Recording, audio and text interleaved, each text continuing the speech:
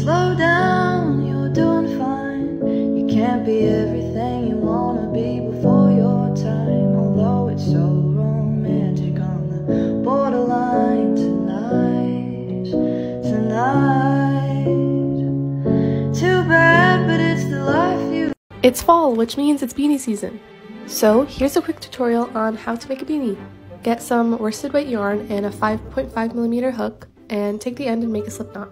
Here it's too big so I tighten it a little and then put it on my hook. Now we're to start chaining so I'm doing 38 chains. This is how long the beanie is to be and here's how it looks. Now you're to skip the first two chains and in the third chain you're to make a half double crochet. Then keep half double crocheting across the chain until you reach the end of the row. That's your first row, then you're to chain two and flip your work. Now you're to skip those two stitches, yarn over, and insert your hook only into the back loop of that stitch. Keep making half double crochets only into the back loop for the rest of the row. You're going to repeat that row until you reach 36 rows, and it creates this nice ribbon. Next, you're going to fold it in half and attach the sides together. I do this by single crocheting them together. Next, you're going to take some yarn and attach it to the top of the beanie and start weaving it through the top along like that until you reach all the way around, and then you can just pull it closed. Make sure to tie it really tightly and I double knot it here and then weave in the ends and then you have your beanie. I like to fold over the end here and go forth and crochet. to know that I think we wanted to say I don't think we could help it No, I don't think we could help it We don't talk much Guess cause no Nobody's gonna know. really crying over my nails right now because they're so ugly. Oh my god, okay. This is what I wanted, okay? This is the pastels, and this is what I got. Hey y'all, let's make a nice cozy fluffy blanket. You'll need four skeins of Bernat blanket yarn. You'll need a 12 millimeter crochet hook. Start by making yourself a slip knot and placing that on your crochet hook.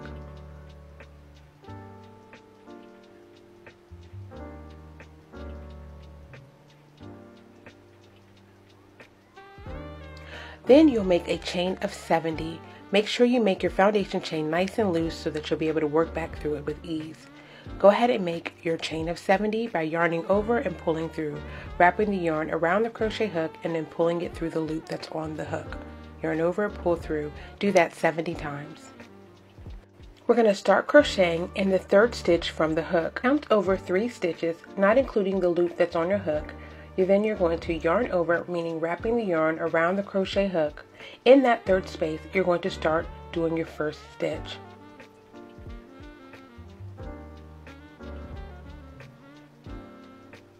Okay, let's do it together. Yarn over, insert your crochet hook, pull back through the loop. You'll have three loops on your hook. Pull through all three. Continue doing this stitch, which is called a half double crochet stitch, all the way down your foundation chain. This is the stitch that you're going to carry through your entire project. At the end of the row, you're going to chain one, turn your work. In the very first space there, you're going to place your half double crochet. Yarn over, insert the crochet hook into that space, pull back through. You'll have three loops on your hook. Yarn over and pull through. Continue doing that until you finish three rows of the same color.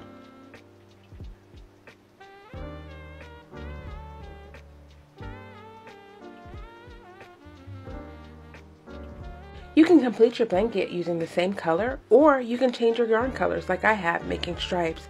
To change the yarn color, follow along with the screen or just simply tie your yarn together at the end of the row.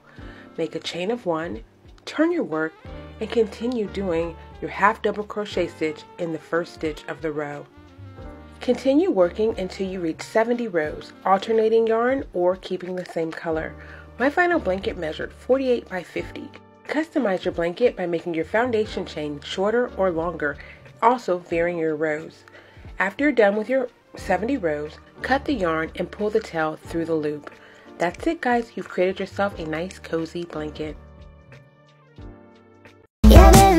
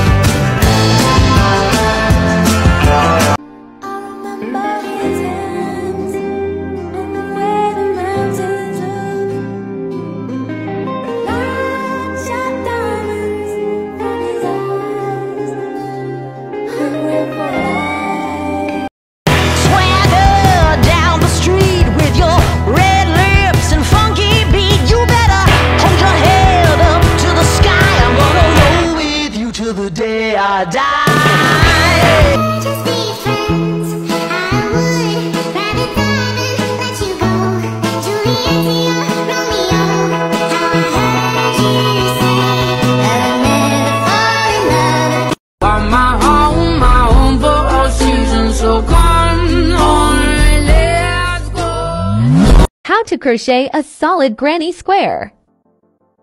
Make a slip knot. Chain 4 and slip stitch in first chain to make a ring. Chain 3. Do 2 double crochets in the ring.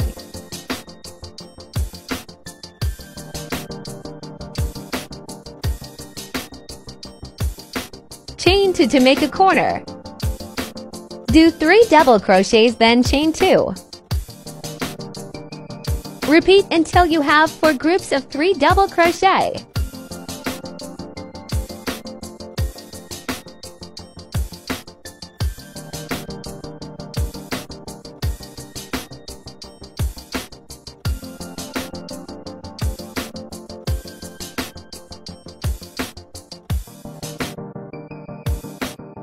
To make the last corner chain 1 then single crochet in the top of the starting chain 3.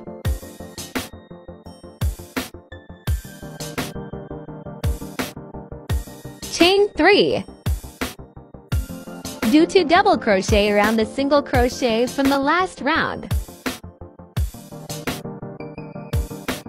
Skip the starting chain and double crochet in the next stitch.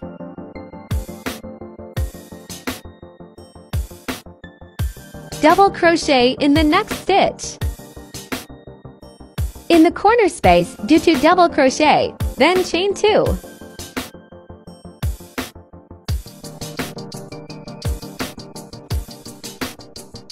Now do 3 double crochet in the corner space.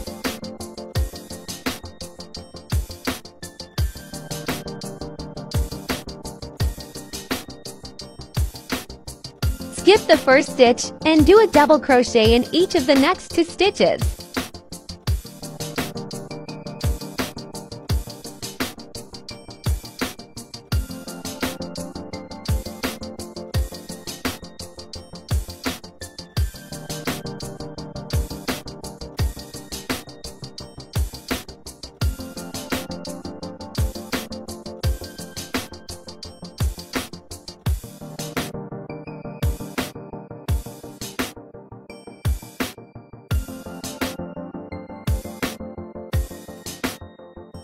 Chain 2 and slip stitch to join or do an invisible join.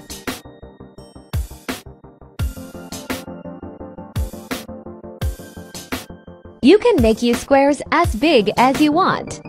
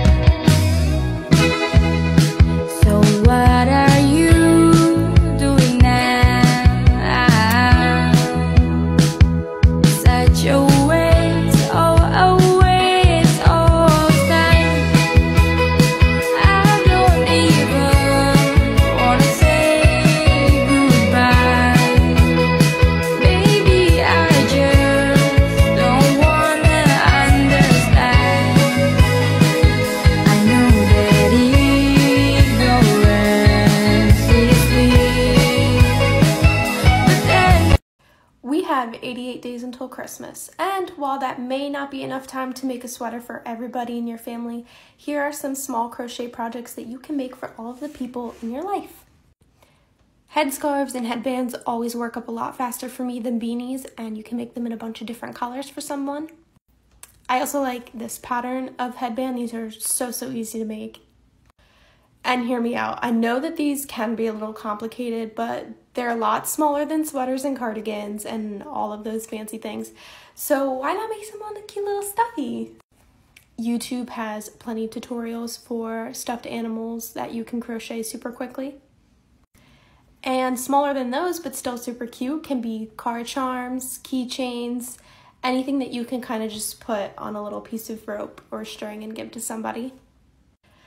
For the coffee lovers in your life, you can make them a bunch of different little cup cozies so that they can put their little Starbucks in it. Or water bottle holders so we can stay hydrated too. I love this little thing, whatever it is. I think it's a little granny square, um, like coin pouch, but then, you know, you could put stuff in it, little crystals or coins or whatever. I think these are so, so adorable. Basically, any form of case book covers, AirPods cases, switch cases. The switch case in question, I have one for my switch and it has like a zipper that the girl stitched on it too. It's really cute and it lets me take my switch anywhere without me having to worry about it getting scuffed. Again, book cover, super cute. A crochet steering wheel would be so adorable. I just haven't had the time to make one for myself, but I think if I did, it would look something like this.